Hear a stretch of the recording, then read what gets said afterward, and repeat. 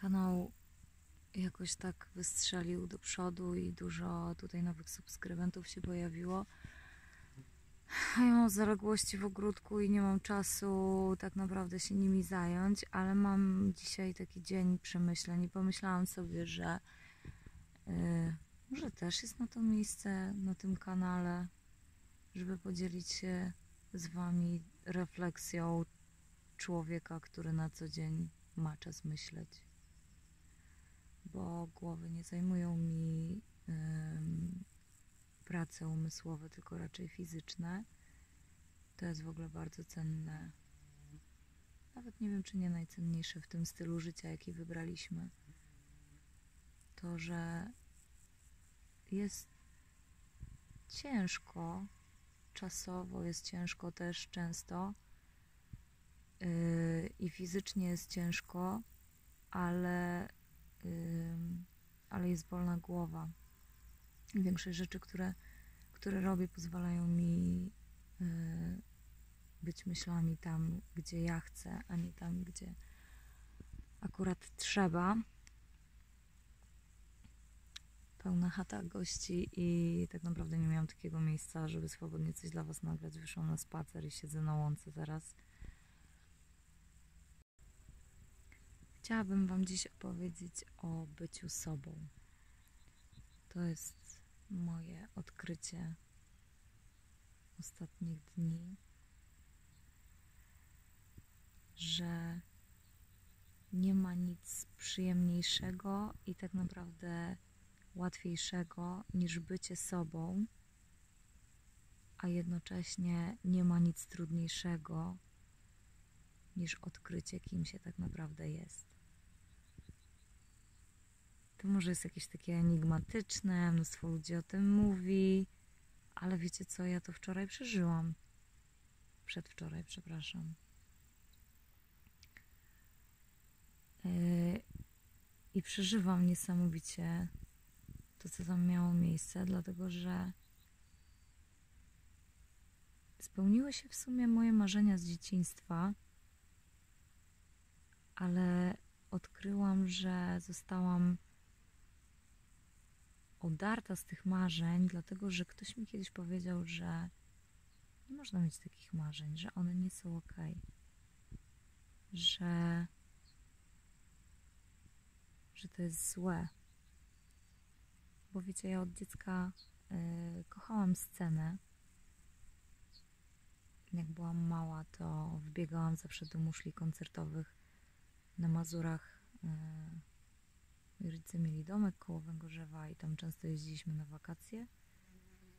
I tam właśnie w Węgorzewie, Kętrzynie, Giżycku, tam się kręciliśmy po tamtych terenach. Y, zawsze były takie małe muszle koncertowe. I tam była świetna akustyka i się wspaniale śpiewało. Więc jak y, byliśmy na lodach na spacerze, to ja zawsze wbiegałam na tą muszlę koncertową i tak bez pardonu po prostu śpiewałam pełnym głosem, bo kochałam śpiewać i nie wiem nawet czy marzyłam, żeby zostać piosenkarką, po prostu chciałam śpiewać, bo to lubiłam bardzo. Y, I, i zawsze też jak były, wiecie, jakieś przedstawienia szkolne czy inne takie rzeczy, zawsze grałam pierwsze role. Mm, nie w ogóle nie znałam czegoś takiego jak trema. Tak naprawdę tremy to ja w ogóle nie znałam chyba do klasy maturalnej. Yy, ale pamiętam, że ktoś mi kiedyś powiedział, że, że ja się za swobodnie czuję na scenie i że to nie jest dobre, bo bo ja się w ten sposób wywyższam nad innych. I ja wtedy przestraszyłam się tego, bo ja nie chciałam się nad nikim wywyższać. Ale w ogóle takie nie były moje motywacje. I, i odkryłam przedwczoraj, stając na dużej scenie i śpiewając dla naprawdę dużej ilości ludzi, mm, pierwszy raz w życiu, będąc w miejscu tak naprawdę wszystkie oczy patrzą na mnie. Po prostu. I to dużo tych oczu. To było. To było takie doświadczenie, które po prostu tak mi mnie odkryło i właśnie zaczęłam się nad tym zastanawiać. No i zaczęłam wspominać te, te, te, te rzeczy z dzieciństwa. I wiecie, i tak e, pomyślałam sobie, że ktoś mi podciął skrzydła, bo widział we mnie to, czego sam się bał, może, albo to, czego sam nie miał, a być może chciałby mieć. I tak poczułam się jak ptak, który któremu ktoś powiedział, że nie może latać, bo inni nie latają. I że w związku z tym latanie krzywdzi tych, którzy tego nie mają. I ja tak coraz bardziej zaczęłam odsuwać od siebie te, te yy, yy, marzenia, nawet nie wiem czy marzenia, po prostu taką naturalność w byciu tym, kim jestem bo myślałam, że bycie tym, kim jestem, nie jest w porządku. Później sprawa potoczyła się tak, że mm, zanim jeszcze stanęłam na tej dużej scenie, to mój kolega z zespołu powiedział tak tam mimochodem yy, na wcześniejszym koncercie, takim mniejszym, Mówi, a ja lubię być na scenie. I w ogóle nie miał z tym problemu. I ja sobie pomyślałam, że to jest niesamowite, co on mówi. I że ja też w sumie lubię być na scenie. Że co, co może nie ma nic w tym złego. Zaczęłam właśnie myśleć wtedy o tym. Podczas tego koncertu, bo wam wkleję tutaj jakieś urywki, zrozumiałam, że przez wiele lat szukałam tego, kim powinnam być, bo myślałam, że to, kim jestem, nie jest wystarczające, że to, kim jestem, to jaka jestem naprawdę w środku, jakie mam e, zasoby, jakie mam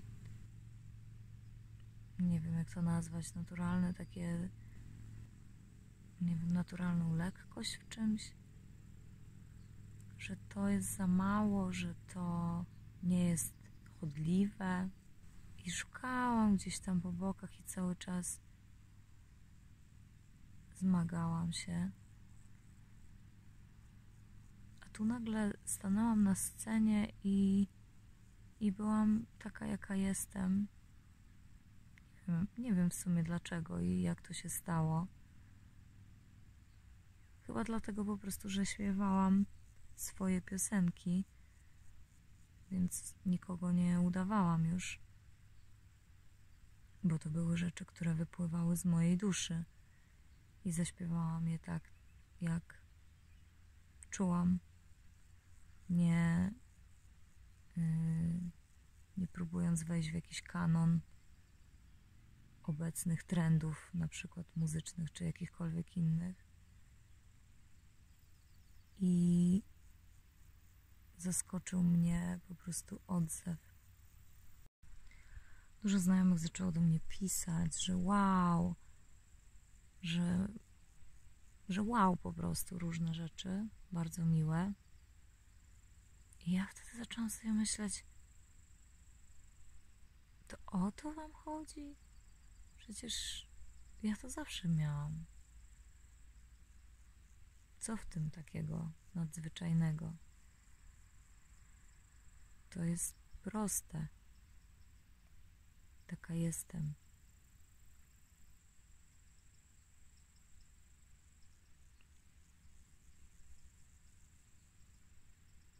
I wtedy zobaczyłam, że taka jestem.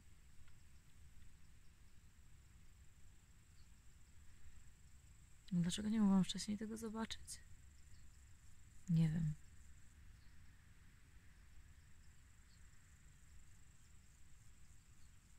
Ale bycie sobą jest wspaniałe. Mega uwalniające.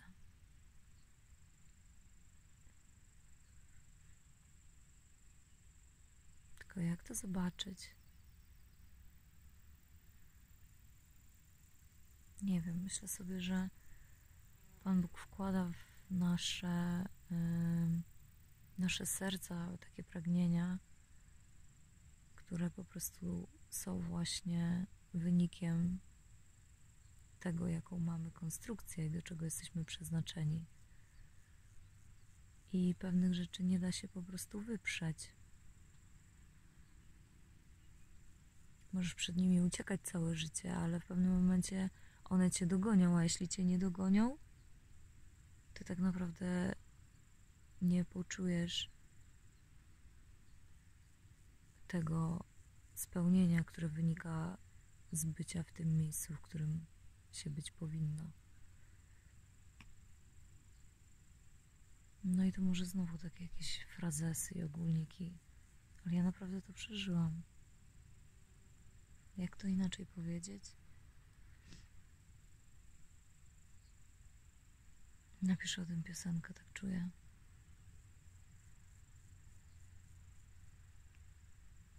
Nie dajcie sobie podciąć skrzydeł tylko dlatego, że ktoś e, inny ich nie ma.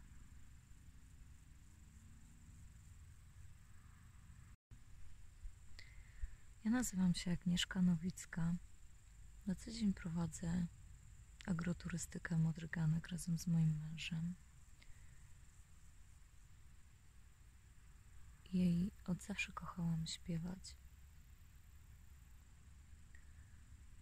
Potem myślałam, że nie mam głosu i że się do tego nie nadaje. Jakoś tak uwierzyłam, że, mm, że to się nie uda. I przestałam marzyć o tym, żeby śpiewać.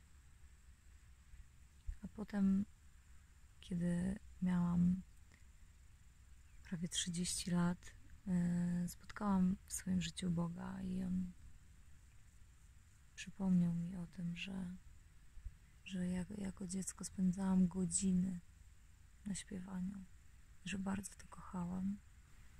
I pokazał mi, że, mm, że nie ma w tym nic złego, że on to włożył w moje serce. Odkopał to i, i zaczął mnie w tym prowadzić, kroczek po kroczku. Na początku przewracałam się jak małe dziecko. Co chwila ale jakoś tak też jak małe dziecko po prostu nie poddawałam się, otrzepywałam kolana i szłam dalej.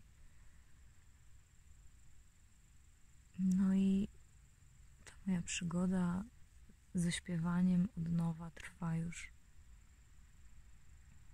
z 10 lat. Mm. I wiecie co, za kilka dni yy, uda mi się chyba wrzucić już w internety mój pierwszy utwór. E, jego tytuł to Jestem w drodze i to jest piosenka e, o przemianie. To jest piosenka o tym, że każdy z nas jest w jakiejś drodze i my nie znamy tak naprawdę miejsca docelowego, do którego zdążamy ale mamy wybór, czy będziemy stać w miejscu, czy jednak będziemy szli przed siebie tam, gdzie widzimy kierunek. Całość jest opowiedziana w alegorii wędrówki, bo ja kocham wędrować mm, po górach i, i do tego często odnoszę e, się w moich tekstach. Ale ta piosenka jest e, właśnie o tym, tak naprawdę, że ja nie jestem już tą Agnieszką, którą byłam dwa lata temu, pięć lat temu, dziesięć lat temu i dwadzieścia lat temu. Cały czas jestem w drodze, jestem w procesie. I nie mogę się już doczekać, e, kiedy będę mogła się z Wami podzielić tym utworem. Będzie też teledysk nagrany w Modrym Ganku, e, częściowo i w okolicach tutaj Modrego Ganku. I jest to dla mnie taka wyjątkowa myśl, że będę mogła urodzić coś, co jest tak naprawdę z głębi mojego wnętrza. I nie, kompletnie nie myślę o tym, jaki to będzie miało mm, skutek, jeżeli chodzi o odzew. W ogóle to nie jest moim y, celem, żeby jakiś osiągnąć efekt.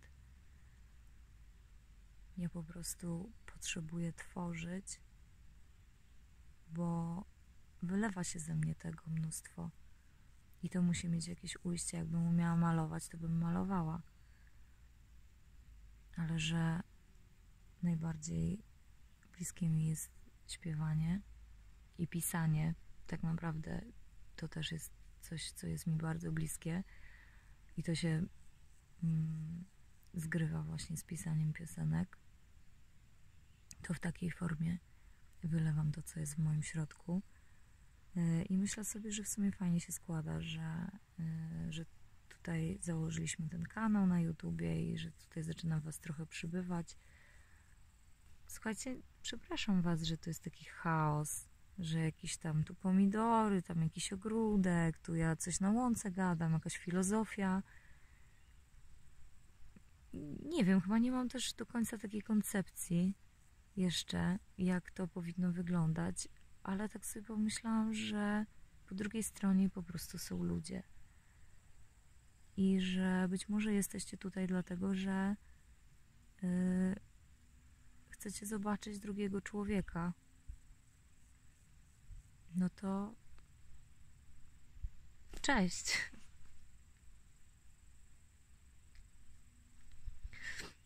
Fajnie, że możemy się zobaczyć, że możemy się poznać. To nie są tanie łzy do kamerki, tylko mam taki dzisiaj dzień wzruszenia.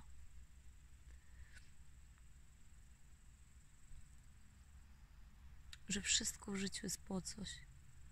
Totalnie wszystko. I te wszystkie upadki są po coś.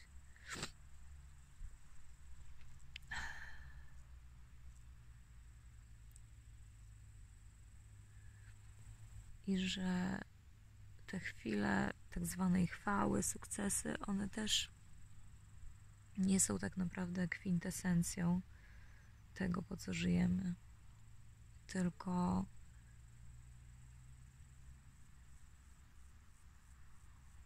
powodem, dla którego to wszystko przeżywamy, jest to, żeby odkryć, kim my jesteśmy i kim jest ten, który nas stworzył.